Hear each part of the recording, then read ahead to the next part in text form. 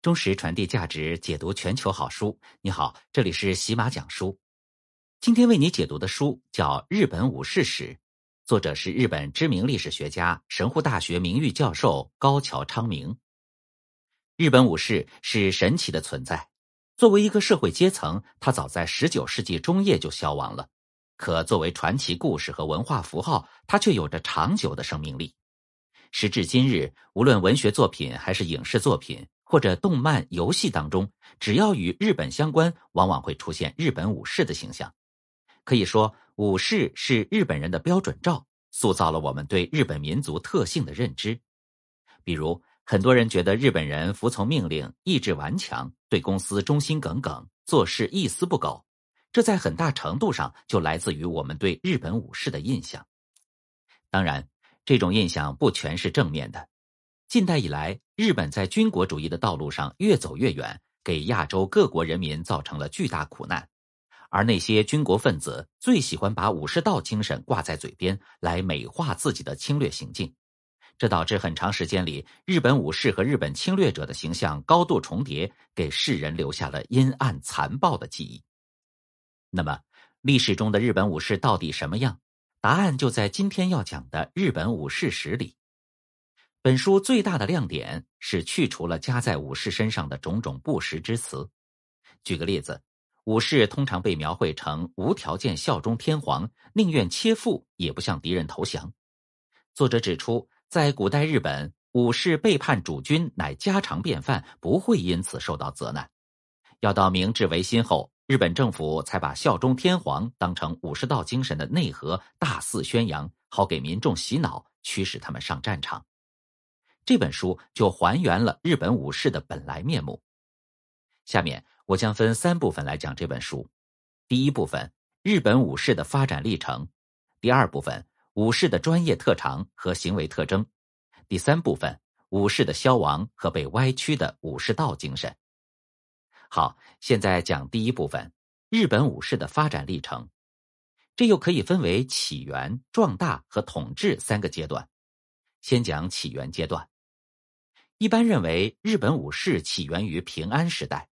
公元七九四年，桓武天皇将日本首都从长冈迁到平安京，也就是今天的京都，延续约四百年的平安时代拉开帷幕。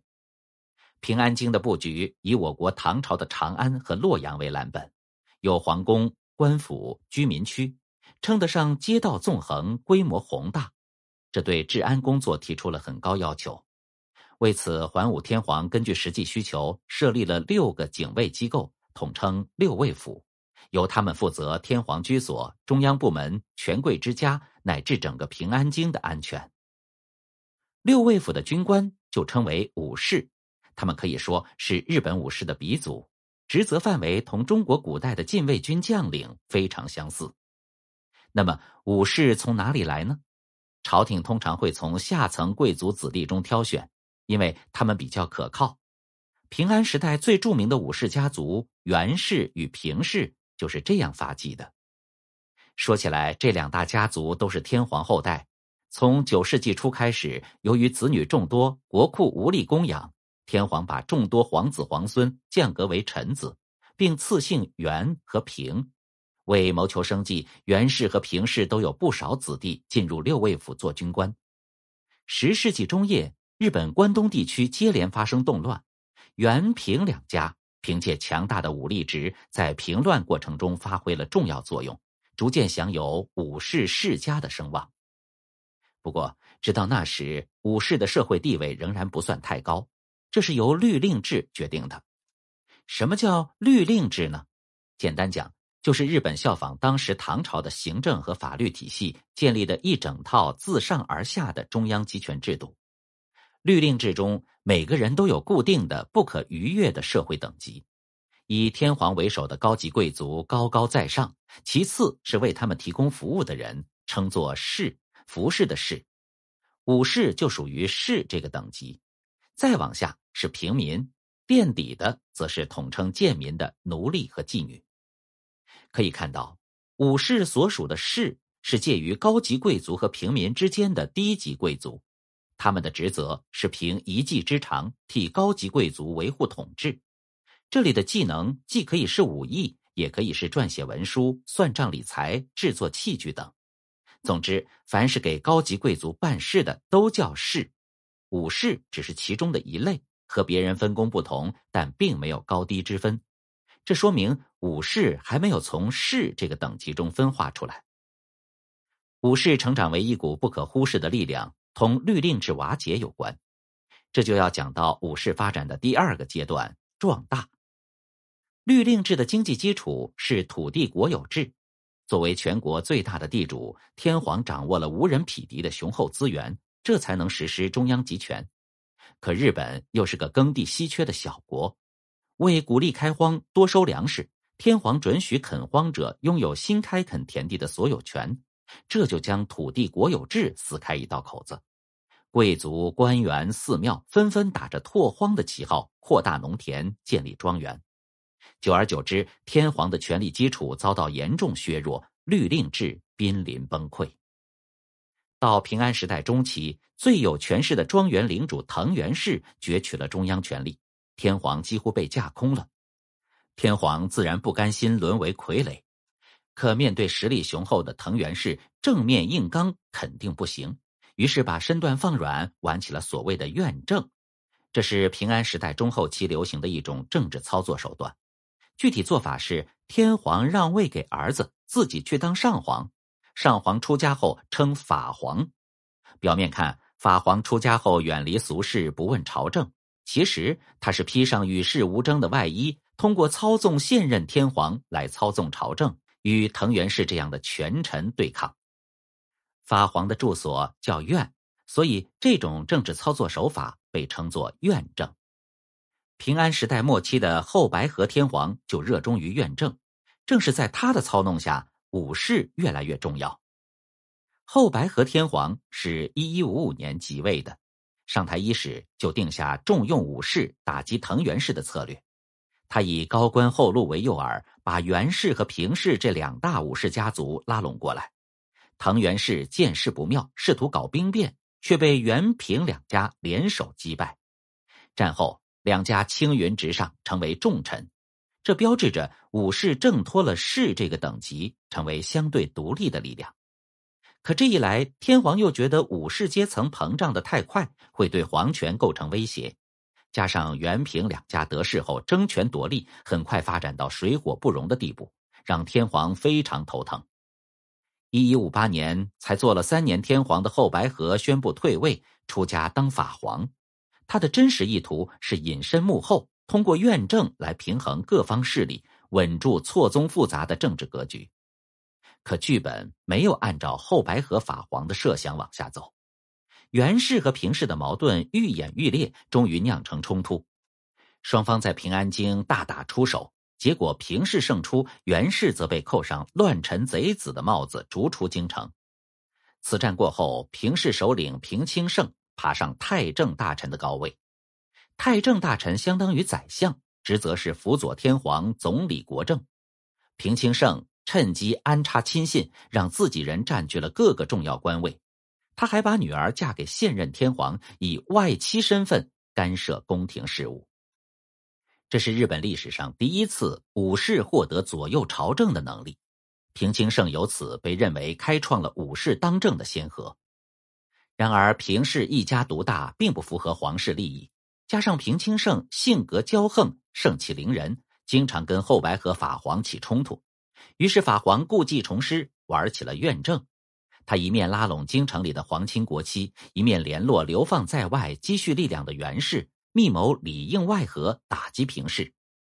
一一八一年，平清盛病死，没了主心骨的平氏迅速衰败。袁氏立刻起兵，与平氏进行了一系列战斗，史称袁平合战。最终，平氏被剿灭，袁氏成为最有权势的家族。对喜欢玩弄院政的后白河法皇来说，这简直是莫大的讽刺。他本指望袁氏和平氏势均力敌，互相制约，可权力的天平总是从一个极端倒向另一个极端。事已至此，法皇也无力回天。武士的发展历程迈入第三阶段，即统治阶段。一一九二年，后白河法皇驾崩，当年袁氏首领袁赖朝获封日本武将的最高头衔征夷大将军，这标志着袁氏已完全掌握朝政。袁赖朝吸取了平氏直接干政同天皇尖锐对立的教训，转而采用比较间接的执政方式，即幕府制度。他将天皇留在京城，自己跑到今天东京西南边靠海的镰仓开设幕府，把这里打造成日本的行政中心。由于袁氏是武士世家，镰仓幕府也被称为武家政权。从一二九二年创建到一八六八年废除，幕府制度延续五百七十二年。日本历经镰仓、室町、德川三个武家政权，室町和德川之间还夹着一个群雄争霸的战国时代。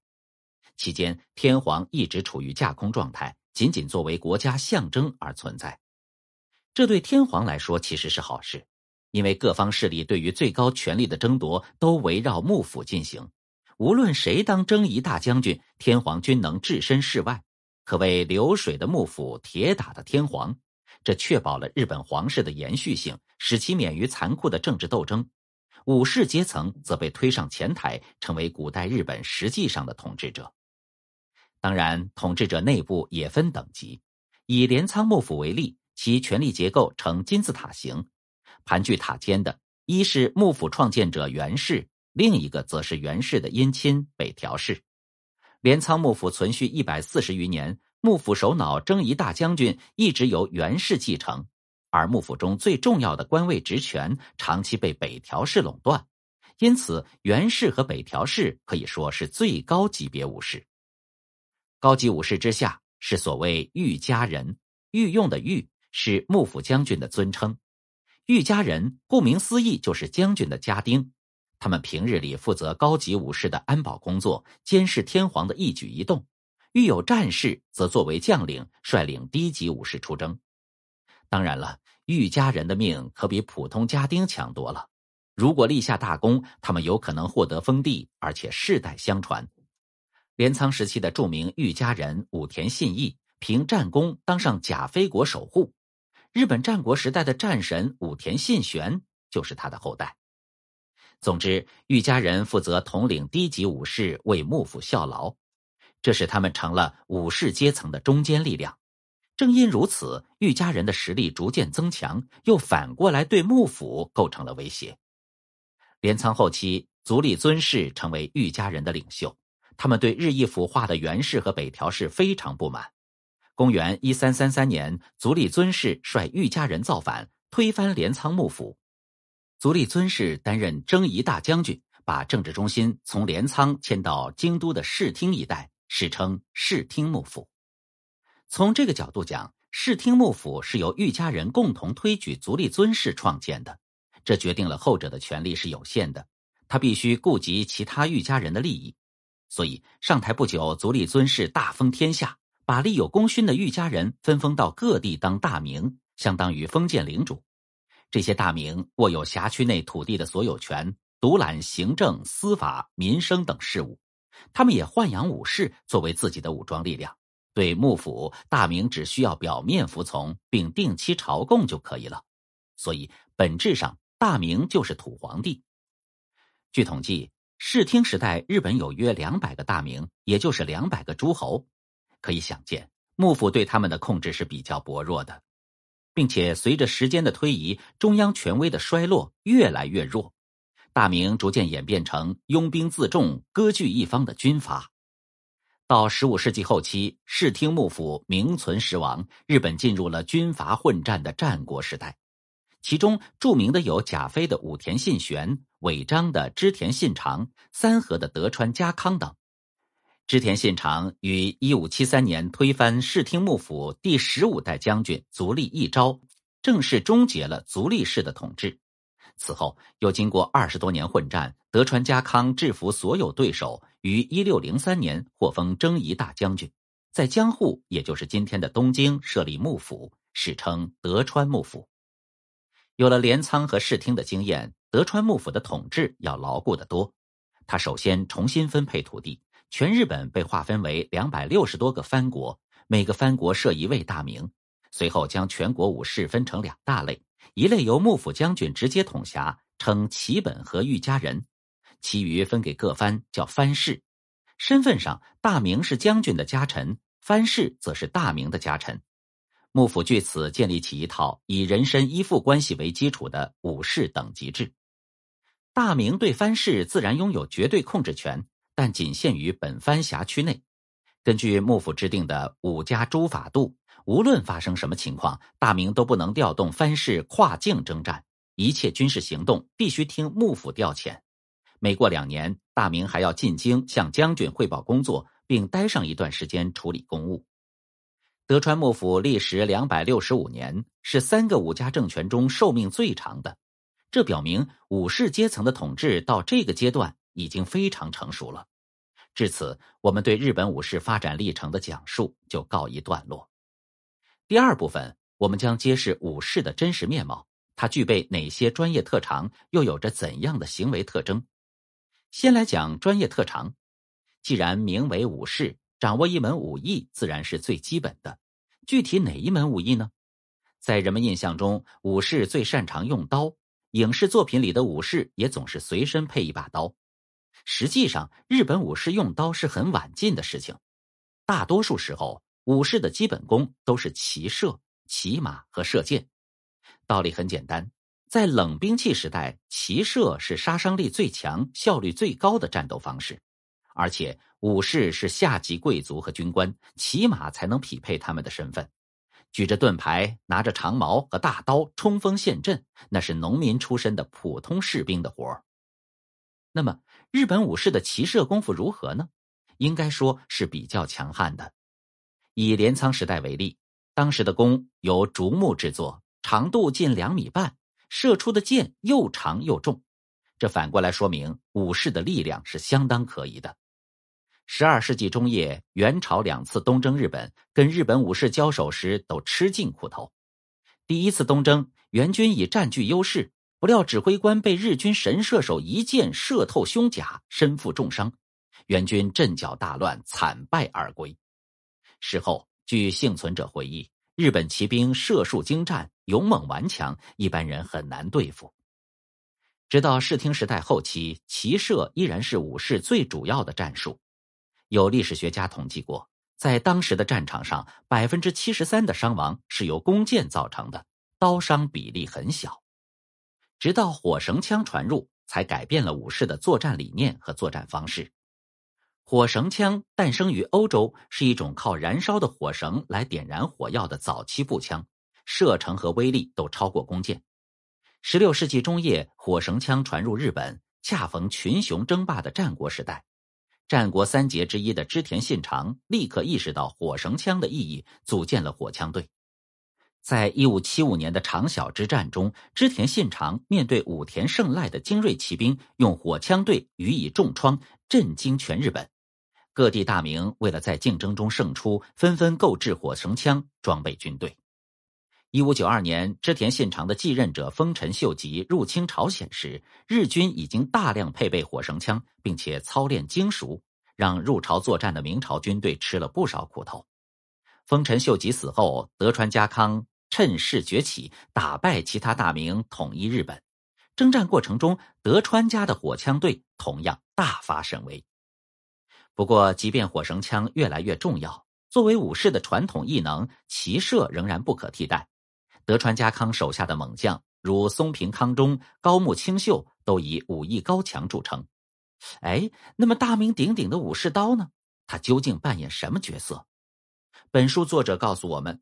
武士上战场时的确要配刀，当他们用弓箭或火枪杀死敌人后，就拔刀取下首级，请功领赏。至于举着刀打白刃战，如此简单粗暴的战法，正经武士是不屑的。只有那些铤而走险的浪人，因为买不起弓箭和火枪，才以刀为主要兵器。比如明朝中期频繁侵扰我国沿海的日本倭寇。而对武士来说，由于刀的用处有限。就把它锻造的越来越精美，成了装饰品。所以在古代日本，武士刀的装饰价值要远远超过实用价值。从武士的专业技能出发，可以总结出他们的三大行为特征：首先，自然是好勇斗狠，喜欢用武力解决问题。平安时代的两大武士集团袁氏和平氏就以凶狠著称，像平氏首领平清盛，性格蛮横，手段强硬，打击对手毫不手软。公元一一八零年，平清盛为进一步把控朝政，逼高仓天皇退位，拥立自己的孙子安德天皇继位，同时将后白河法皇软禁起来，防止他再操纵朝政。平氏大权独揽，激起袁氏不满，拥戴一名皇子起兵反抗，结果袁氏战败。平清盛下令将袁氏首领袁赖政和那名皇子全都杀死，以儆效尤。平清盛死后，平氏衰落，但平氏子弟依然留有武士的血性。一一八五年，平氏在谭之浦之战中被袁氏彻底击败。眼见末日临近，平氏子弟如平之盛、平经盛、平教盛等纷纷跳海自杀。成书于十三世纪的长篇小说《平家物语》，用浓墨重彩的笔触描绘了谭之浦之战。平氏子弟慷慨赴死的景象，就此成为日本古典文学中的名场面。除了在战场上搏杀，生活中遇到矛盾，武士也会诉诸武力，甚至到了一言不合拔刀相见的地步。活跃于十七世纪上半叶的宫本武藏就是一位决斗狂。他生于武士世家，自幼苦练剑术。从十三岁到二十九岁，宫本武藏游历日本各地，挑战著名武士。十多年间，挑起决斗六十余次，全部获胜。最夸张的一次，宫本武藏单挑七十六人，竟然将对方悉数杀死，堪称决斗界的天花板。如果你以为武士打仗的时候都规规矩矩，那就错了。日本武士的第二大行为特征，恰恰是为了获胜不择手段。俗话说“兵不厌诈”，在战场上取胜就是硬道理。战国时代的一名武将就主张搞阴谋诡计，宣称哪怕被人骂成畜生都无所谓，胜利才是根本。德川时代的山本朝长撰写过阐释武士道精神的小册子《夜饮》，他的爷爷公开鼓励武士撒谎，他的父亲也说善于用谎言欺骗对手才算真正的武士。直到成平已久的十八世纪，日本的儒家学者还宣扬说，在战场上诚实守信是不可能获胜的，只要能夺取功劳，即便欺骗自己人也无所谓。这就是日本的武士道。既然连自己人都能骗，那么名利当前，背叛主君也就不稀奇了。这是日本武士的第三个行为特征。中国古代有句俗语叫“学成文武艺，或与帝王家”。习文练武都是为了替君王效力、博取功名，日本武士也不例外。我们知道，从平安时代中期到德川幕府建立六百多年间，日本很少有安定的时候，朝廷内乱、诸侯造反、流寇四起都是家常便饭。对武士来说，想在乱世中出人头地，既要靠武艺，更要审时度势、跟对人，因此背离主君、另投高明是很常见的。举个例子，平安时代的著名武士田山重忠原本效忠平氏，后来袁氏振兴，马上投靠，助其剿灭平氏，创建镰仓幕府。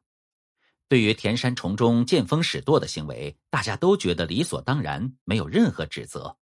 有意思的是，田山重忠晚年被诬陷策划阴谋，幕府要他发毒誓以示清白。他竟然说：“像我这样的武士被造谣说意图谋反，真是莫大的荣誉啊！”这种以谋反为荣的态度，在群雄争霸的战国时代更为普遍。当时的日本下级不服从上级，蔚然成风，以至于日本人发明了一个专用词汇概括这一现象，叫“下克上”。一五七三年，尾张国大名织田信长把幕府将军赶下台，就是典型的下克上。织田信长自己也没躲过劫难。一五八二年，他在本能寺之变中被部下明智光秀烧死，一代战神就此陨落。当然，大多数武士不至于像明智光秀那样极端，非要杀掉主君取而代之。不过，改换门庭还是稀松平常的。例如，名将藤堂高虎一生跟过八位主君，投靠德川家康后才安定下来。家康也不以为意。创建幕府后，封他为大名。上面我归纳了日本武士的三大行为特征，你可能会感到疑惑：除了第一条好勇斗狠，后面两条跟一般人的认知大相径庭啊！难道他们发生了某种基因突变，变成了另一种生物？还是说有人刻意扭曲了日本武士的真实形象，然后灌输给人们？第三部分，武士的衰亡和被歪曲的武士道精神，我就来揭示答案。先来讲武士的衰亡，这要从德川幕府对武士的改造说起。前面讲过，德川幕府建立后，加强了对武士的管控。首先，武士从属于各自大名，是大名的家臣，不得随意流动。改换门庭更是被严厉禁止。其次，武士的生活来源全靠大明发放的俸禄，饭碗捏在大明手里，武士只能乖乖听话。为杜绝下克上的风气，幕府还向武士灌输无条件效忠大明，也就是主君的观念。相应的，作为幕府将军的家臣，大明也应当对将军忠心不二，忠贞成了武士的基本素养。可以看到。通过社会身份、生活来源、思想观念三管齐下，性格强悍的武士被彻底驯服，而客观环境也在不断弱化他们的武力值。德川时代社会安定，很少有战争，武士没了用武之地，一些人于是搞起副业，有的当教师、医生，也有的开店做手工。这种现象越到后面越普遍。因为随着时间的推移，从幕府到藩国都发生了财政困难，经常拖欠俸禄，武士们只能靠副业为生。你像浮世绘大师葛饰北斋，出生于武士家庭，可其实呢，他父亲靠给人磨镜子为生，他自己画了一辈子画，就没练过武。久而久之，武士基本功荒废，很多人连马都不会骑，跟战国武士比，完全是两种生物。话说回来。即便他们能征惯战，也无济于事，因为时代变了。一八五三年，美国海军用炮舰抵达东京湾，逼迫日本打开国门。法国、俄国、荷兰接踵而至，德川幕府被迫签订了一系列不平等条约。幕府因此遭到国内的强烈谴责。一批立志改变现状的维新派掀起了所谓的倒幕运动。一八六七年末。内外交困的德川幕府把政权交还给天皇。第二年，在维新派的支持下，明治天皇宣布废除幕府制度，同时启动以富国强兵为目的的社会改革。明治维新的大幕徐徐展开，而作为旧时代的产物，武士的命运也开始剧烈转折。具体来说，有两种情况：一小部分人青云直上，成为统治者，他们主要来自各藩的中下级武士。由于在倒幕运动中表现突出，成为领军人物，代表者有常州藩的幕户孝允、伊藤博文，萨摩藩的西乡隆生、大久保利通等。明治政府成立后，这些人跻身中央决策层，担当要职，掌握了政府权力。可这毕竟是极少数，对普通武士来讲，前途充满着未知数。一八七一年七月，明治政府撤销藩国，统一改为府县。长官由中央委派，这叫废藩置县，目的是削弱地方势力，强化中央集权。藩国撤销后，大明被国家养了起来，大明的武士则要自谋出路。于是，武士们把副业变成主业，身份也随之转变为商人、教师、小公务员等。还有不少人加入新式军队，算是干回老本行。一八七三年，明治政府颁布征兵令，确立全民皆兵的原则。这打破了德川时代只有武士才能当兵的传统。一八七六年，政府又颁布废刀令，规定除军人、警察和高级贵族外，一律不得佩刀，哪怕你以前是武士也不行。这两条法令彻底废除了武士的特权。作为一个社会阶层，武士从此不复存在。然而，所谓的武士道精神却没有随武士消亡，相反，它被大肆渲染。进而沦为军国主义的洗脑工具。本书作者指出，武士道出现于德川时代。佐贺藩的山本朝长在《夜隐》一书中，用这个词来概括他为武士树立的一套道德规范和行为准则，例如忠于主君、不惧生死等。不过，长期以来，《夜隐》只在小范围流传，并不具有全国影响力。直到明治维新时，才被翻出来大力推广。一本快被人遗忘的书，为什么又起死回生了？原来书中宣扬的忠君爱国思想得到了明治政府的青睐。当然，叶隐里的“君”指主君，也就是大明。明治政府则把“君”解释成天皇，向军人灌输效忠天皇的教条，好驱使他们上战场。一八八二年，明治天皇颁布军人敕语，宣称日本军队是皇军，军人的本分在于为天皇尽忠。一八九零年颁布教育敕语，鼓吹国民皆为天皇子民，应当绝对服从。经过这番改造，武士道精神被解释成日本人必须无条件效忠天皇，为天皇而死是非常高尚、值得赞美的行为。武士道彻底沦为军国主义的洗脑工具。随着日本加快侵略战争的步伐，官方宣扬武士道精神的调门也越拉越高。其中，一九零五年的日俄战争被作者认为是标志性事件。在这场战争中，面对沙俄军队的要塞，日本陆军硬着头皮强攻，尤其是乃木希典指挥的第三军为占领二零三高地，逼迫士兵发起自杀式冲锋，最终。日军伤亡十万，乃木希典的两个儿子都战死了。可就是这么个无视士兵生命的屠夫，被日本官方捧为战神，指使媒体大肆炒作。乃木希典还当上裕仁皇太子的老师，向未来的天皇灌输军国主义思想。一九一二年，明治天皇驾崩，乃木希典切腹自杀。这一来，日本官方更要把他树立为榜样。要求国民都学习这种为天皇殉节的武士道精神。正是在这种精神的煽动下，日本侵略中国，发动太平洋战争，走上了一条不归路。战场上的日军士兵高喊着“天皇万岁”，冲锋陷阵，烧杀抢掠，宁愿战死也不投降。所以，二战中无论中国军队还是美国军队抓到的日军俘虏都不多。战争后期，一批日本年轻人在武士道精神的驱使下，组成神风特工队，向美军发动自杀式攻击。从这个角度讲，军国主义者对日本人的洗脑相当成功。讽刺的是，这种洗脑其实是针对国民的，日本的军政高层自己并不当真。举个例子，二战结束后，除了几个强硬分子，大多数高官并没有为天皇尽忠。侵华战争罪魁，日本前首相东条英机信誓旦旦的要像武士那样去死，却没有勇气切腹自杀，而是拿枪对着心脏开了一枪，结果还打歪了，被盟军抢救回来，送上远东国际军事法庭接受审判。一九四八年十二月二十三日，包括东条英机在内的六名日本甲级战犯被处以极刑，算是给所谓的武士道精神画上了句点。战后，日本对武士道的阐释和理解脱离了军国主义的话语体系。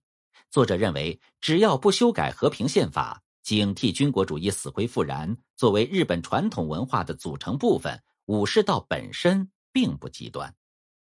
好，日本武士史就讲完了。听书笔记在音频下方，我们下期见。